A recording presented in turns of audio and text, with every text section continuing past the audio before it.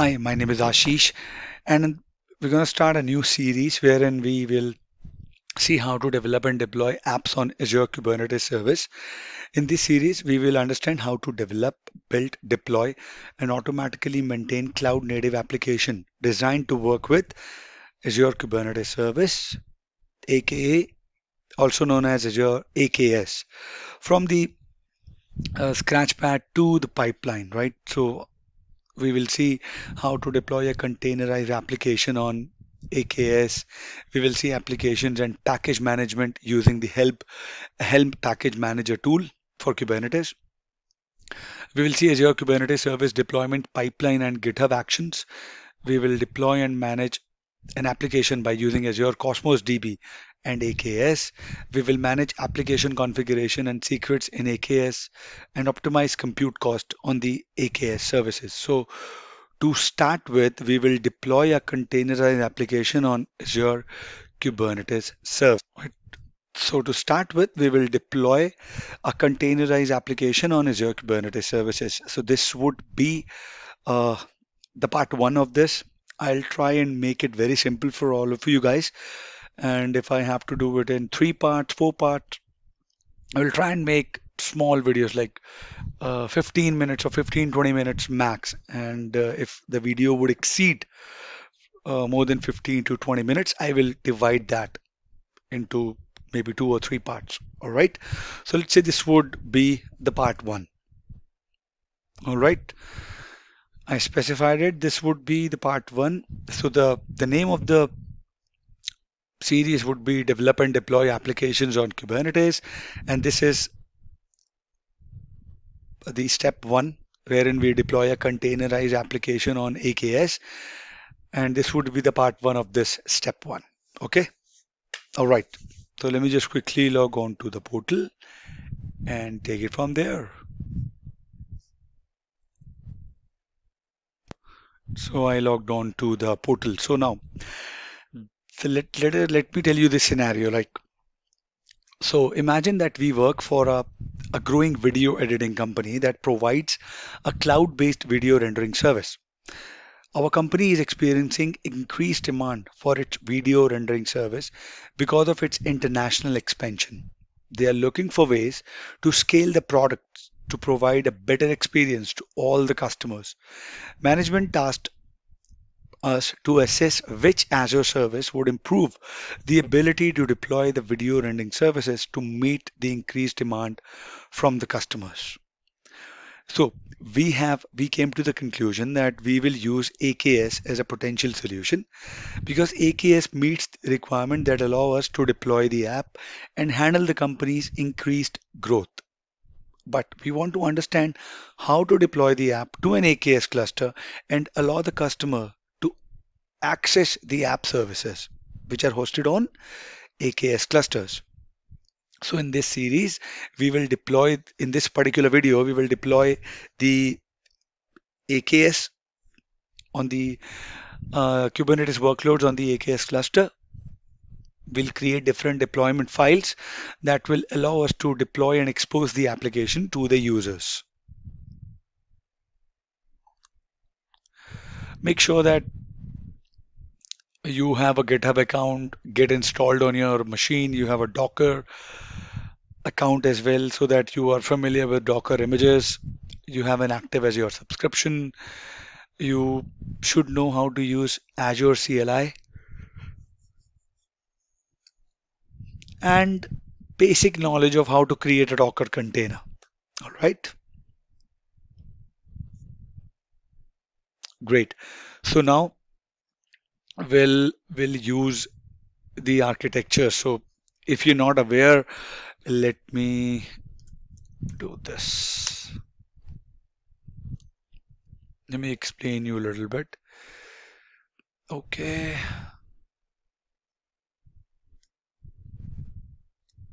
All right. So we'll first of all see the Kubernetes clusters. Okay. Box.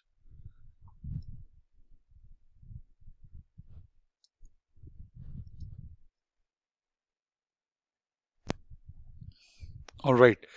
So we'll first of all see the Kubernetes cluster. I'll tell you the concept about it. Let me pick this. Uh, bear with me. Alrighty. Great. So Kubernetes is based on clusters. So is totally based on clusters. Instead of having a single virtual machine, it uses several machines working as one. So these VMs are called nodes, right? So in AKS, cluster VMs are called nodes. Kubernetes is a cluster-based orchestrator. It provides the application several benefits such as availability, monitoring, scaling, and rolling updates. So, so what are cluster nodes? So we have cluster nodes.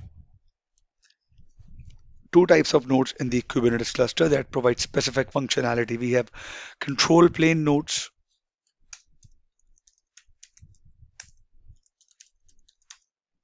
All right. And then we have nodes. So what exactly are control plane nodes? These nodes host the cluster control plane aspects and are reserved for service that control the cluster. And your nodes, these nodes are responsible for executing custom workloads and applications. All right. Now, if you would go into details of cluster architecture, single control plane, and multiple nodes, so those would be the out of the scope of this video. I would request you guys to go through the official documentation from Microsoft. Maybe you can do that before and then watch this video again to actually implement that knowledge. All right, so to proceed further, let us quickly create a Kubernetes cluster.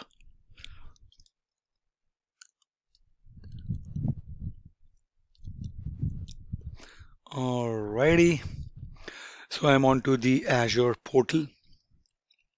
I will create, you can create the cluster using the Cloud Shell, you can create the cluster using the portal as well. I'm sorry, the GUI, right? So let me quickly create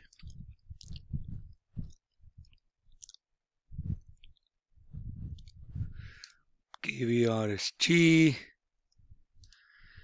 this, this, okay?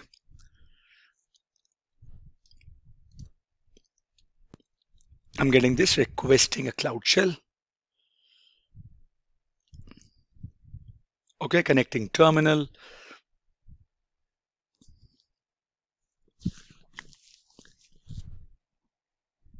Alrighty. Okay, so let me do this.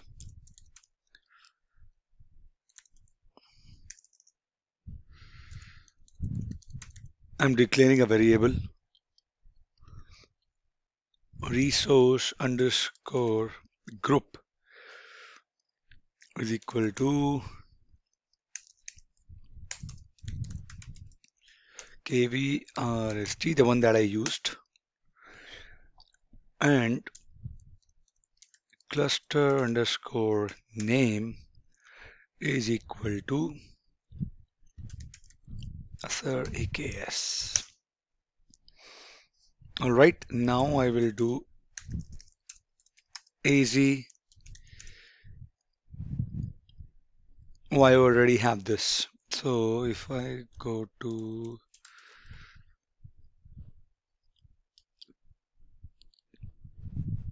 okay, it's in East US, my resource group. Wonderful. Now I will create the AKS cluster. Right, so AZ AKS create resource group. I already mentioned cluster name. I already mentioned node count would be two. I'm enabling an add-on add-on for HTTP application routing to enable the ingress controller so that I can expose my application to the internet over one public IP. I'm using managed identity to create this AKS cluster and I'm generating SSH keys and node VM size would be standard B2 small.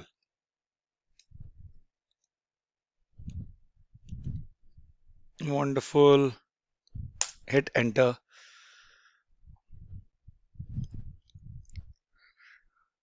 Okay. Let me copy this.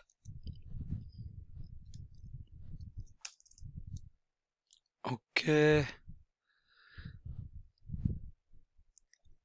It is running. Let me pause the video and come back. This is done. So if I if I open up another tab and do this, okay. So if I check all the resources, I have Azure AKS, which is my cluster. Right, if you see this service and ingresses, this is the add-on HTTP application and this is the cluster IP. And this is the external IP. If you click on it, this is the default application because default page because I have not deployed any application onto it, right? This is the node pools. You can add a node pool from here. You can add a node pool from CLI as well.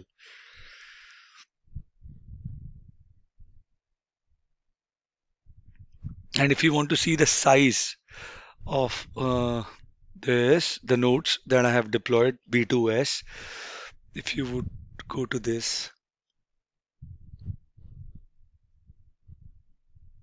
overview,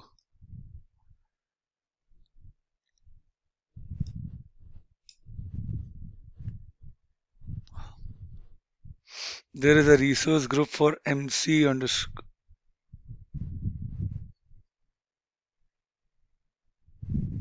this is the resource group. And these are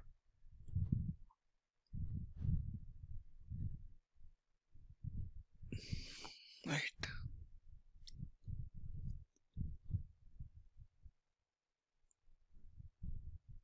this is the AKS VNet node pool VMSS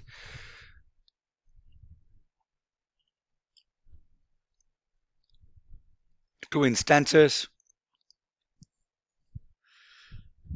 And it is where you can increase the number of count. This is your instances. AKS node pool 1 AKS this one. And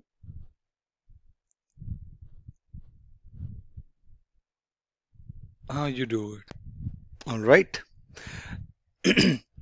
so this command created a new uh, cluster uh, within the resource group that I mentioned. Now the cluster will have two nodes defined by the node count parameter, which I mentioned is two. We are using only two nodes here for cost consideration for this particular exercise. And uh, standard B2S size of the VM that I'm using, the HTTP application routing add-on is enabled by the enable add-on flag. And be very cautious because HTTP application routing add-on is not recommended for production use. For production ready ingress deployments that include multiple replicas and TLS support, you have to use AKS HTTPS ingress controller. You can read more about it on the documentation. Now, if you would link with kubectl, so if I go here and I want to connect to my cluster, using the kubectl. So I would do azaks get credentials name I would do this cluster name resource group I will again mention the variable that I defined. Right. So this command will add an entry to our cube conf there is a config file under kube folder which holds all the information to access the cluster. Kubectl enable us to manage multiple cluster from a single command line interface. So now if I do kubectl get nodes, I'm sorry, kubectl get nodes would get the output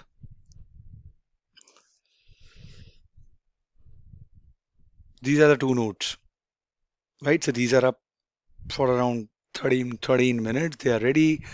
They're they are agents right? This will output two node appears. Now if you want to deploy an application onto your cluster okay now this part uh, we will deploy the the website as a test app onto the AKS the website is a static website with an underlying technology. It can be used anything. It's using HTML, HTML, CSS, JavaScript, whatever. So, so we'll have to first of all create a deployment manifest. Okay, so we create a deployment manifest file to deploy the application. The manifest file allows you to define what type of resource you want to deploy and all the details associated with that workload.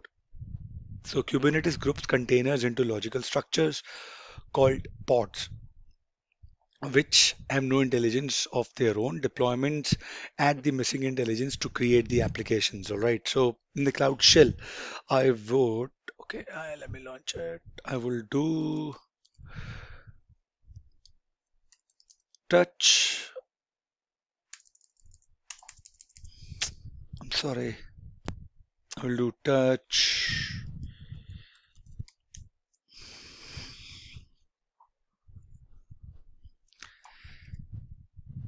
deployment dot YAML.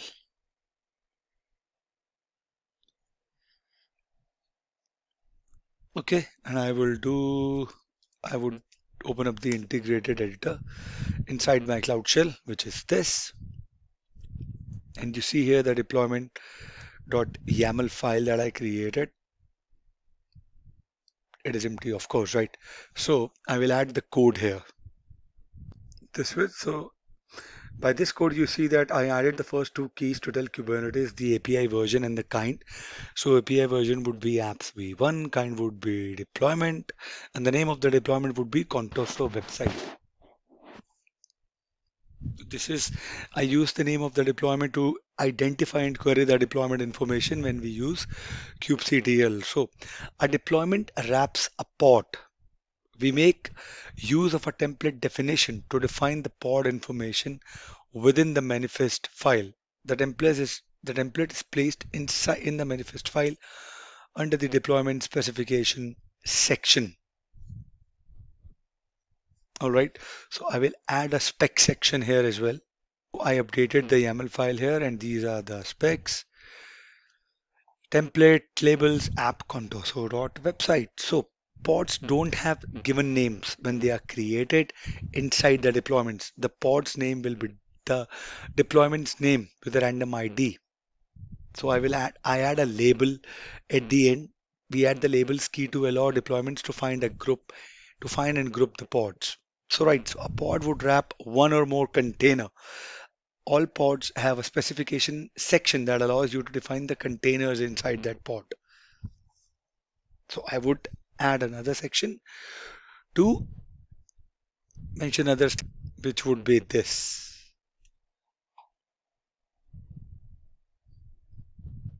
I also added the resources uh, tab as well. I'm sorry here. Right so I can specify the amount of resources the app is allowed to use. All right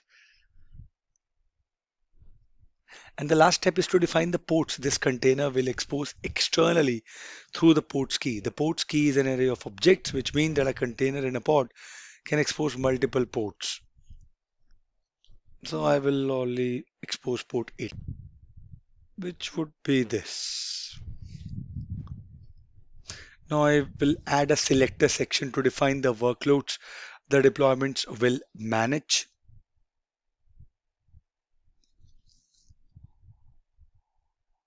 the selection key is placed inside the deployment specification. Let me add that. Right, I will save hmm. this deployment file or I would say the manifest. I will close the editor.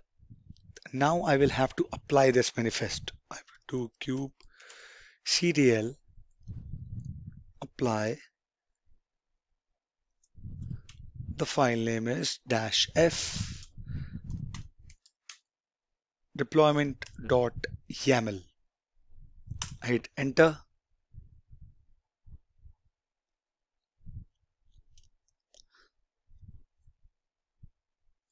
Wonderful. So deployment, this is created. Remember, you see here the Contoso website because I labeled it this way in the manifest file.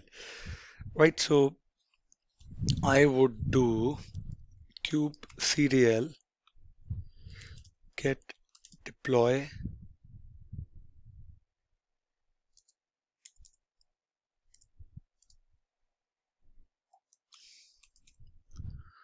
Contoso website. Just to make sure the deployment was successful. It is successful. Now if I do kubectl get pods, Contoso website pod is running wonderful. So now if I have to enable network access to this application.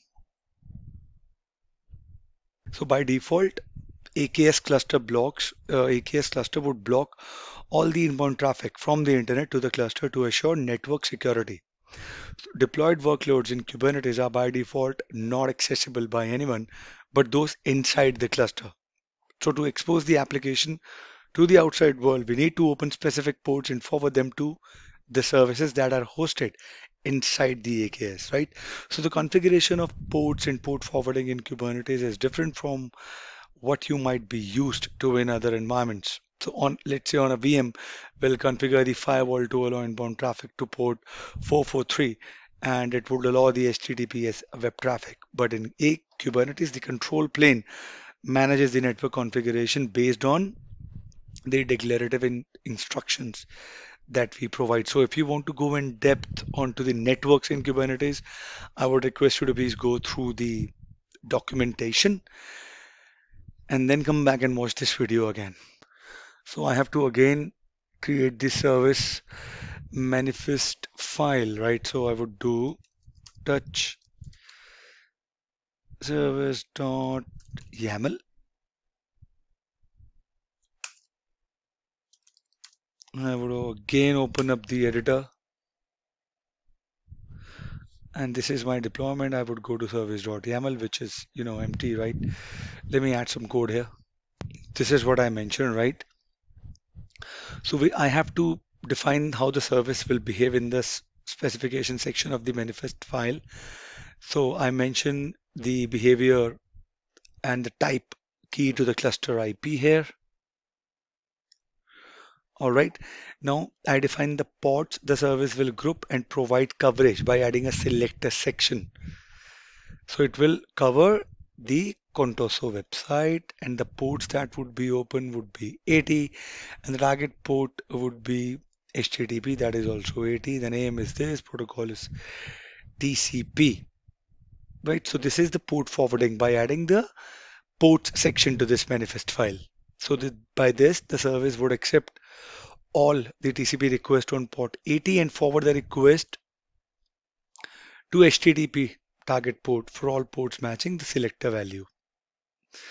Right, so save,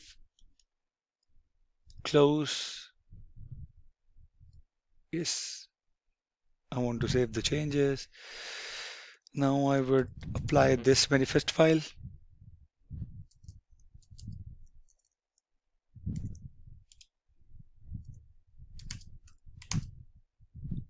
apply dash f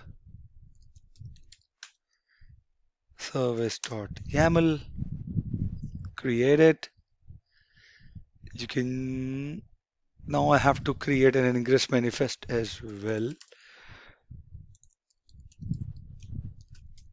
By doing this, touch ingress dot yaml.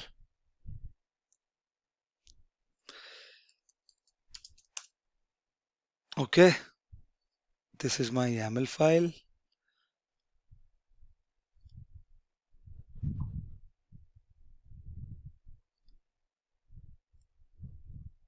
I go to my YAML, this is empty.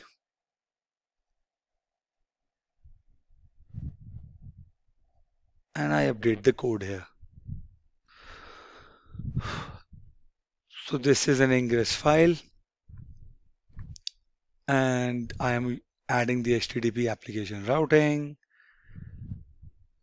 This is my path, service name is this, service port is this, right?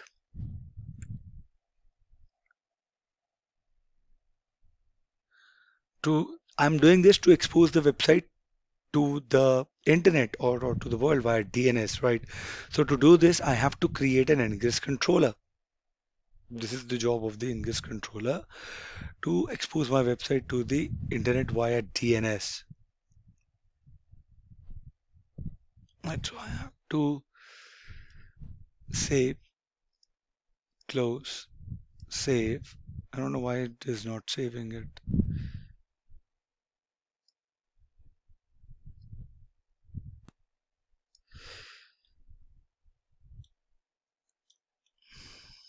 I have to again again apply this manifest. I don't know what happened to that, right? So I'm gonna kubectl apply dash f the ingress.yaml.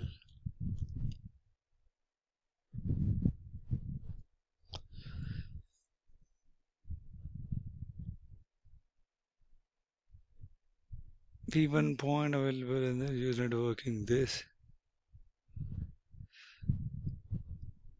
Okay.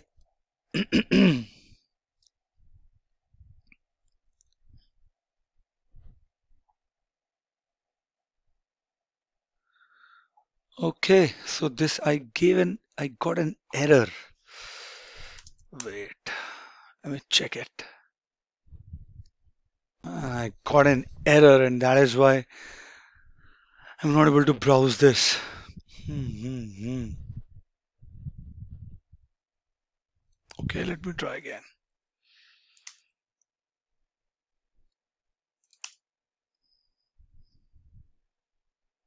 I don't know why I'm getting this error.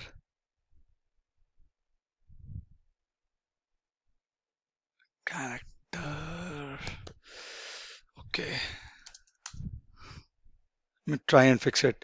But you got the idea, right? So we created an AKS cluster, deploy the web application to the Kubernetes cluster. And when we deployed the web app, we used the Kubernetes declarative uh, paradigm to describe what we wanted to create. This way we can keep the app version history and make future deployment easily reproducible, right?